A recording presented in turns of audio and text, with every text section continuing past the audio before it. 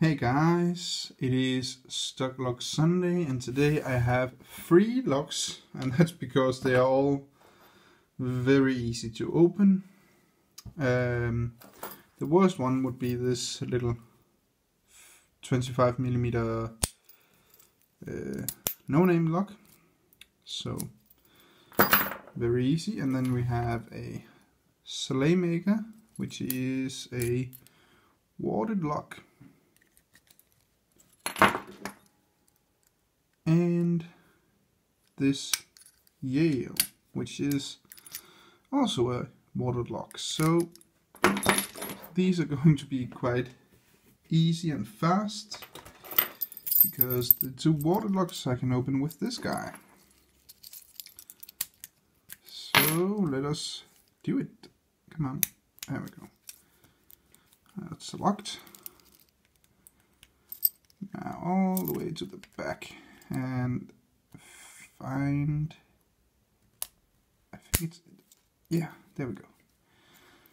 And right there in the middle of the lock. That was one. Then you have the Yale. Oh, I dropped the key. Do the same again. Again, I have to find it. It's somewhere around the middle. Is this one? Yes that's open. And we are done with those. We need this one. It's locked. And let us see. We need, where is it? That one. Oops. And that one.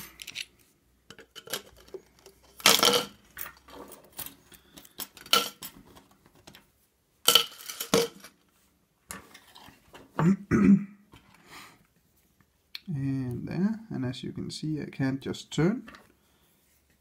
And there we go. Just had to hit the back pin. And that's all. So uh, there was three easy locks uh, for Stock Lock Sunday so guys, that's all I have for today. Thanks for watching and have a good day.